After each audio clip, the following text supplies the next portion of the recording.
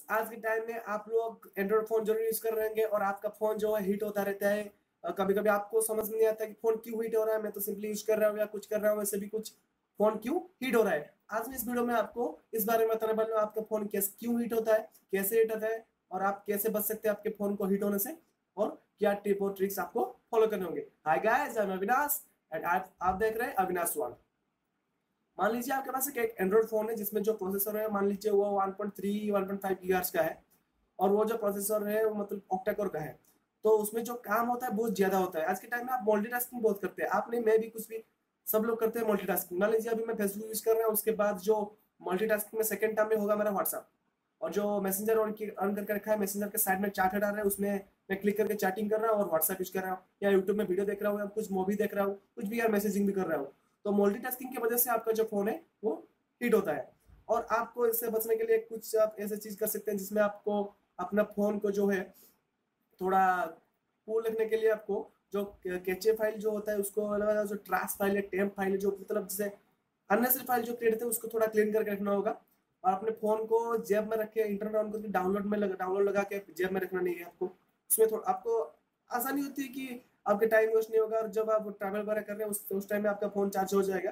पर ये चीज़ ठीक नहीं है। आपको मैं बता दूँ, ये चीज़ ठीक नहीं है। और जैसे कि आपका मोबाइल अब जैसे इस वजह से आपको जो मोबाइल रीजन था जो हीट होता है।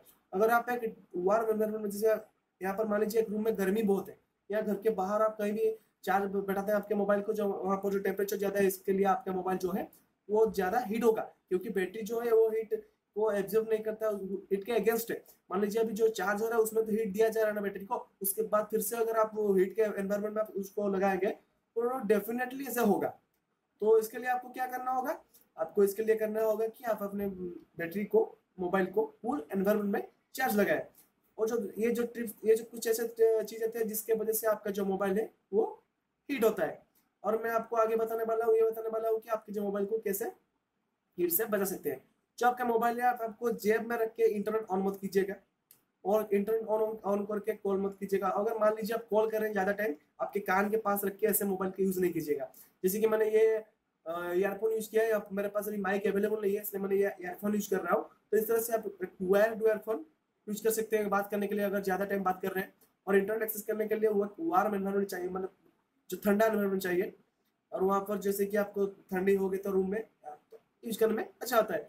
जब आप मोबाइल को अपने मोबाइल को चार्ज में लगाते हैं तो याद रखिए जो मोबाइल को किसी भी कपड़े के ऊपर, जैसे कि आप बेड में जो होता है चीज़ें, उसके ऊपर मतलब कोई भी ड्रेस या कुछ, उसके ऊपर चार्ज मत लगाइए, क्योंकि वो जो है चीज़ें वो मतलब जो टेरलिन का हुआ मतलब जैसे हम बोलते हैं सिल्क, जो ट्रैक ट्रैक ड्रेसेस होते हैं ना, जो सिल्क कपड़ा होता है, उसके ऊपर अगर रहेंगे तो वो हीट हो जाएगा।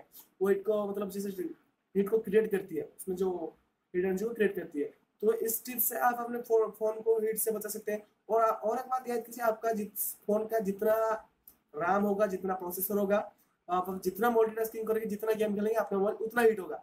उससे बचने के लिए आपको थोड़ा कंट्रोल रखना होगा। एक टाइम में दो तीन चार एप्लीकेशन मत यूज़ कीजिए। थोड़ा कम कीजिए।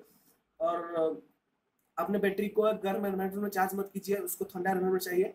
और मोबाइल को कभी भी अब जब गद्दे के ऊपर नहीं रखेगा, क्योंकि वहाँ पर मोबाइल ज़्यादा हीट होता है। स्पेशली चार्ज करने के टाइम पे। और अगर आप ये मेरे ट्रिक्स फॉलो यूज़ करेंगे तो आपका मोबाइल जो है चार्ज से, जो हीट होने से बचेगा और आप अपने मोबाइल को अच्छे से यूज़ कर पाएँगे।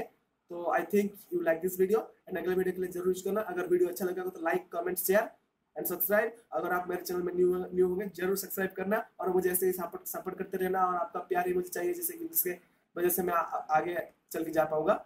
Thank you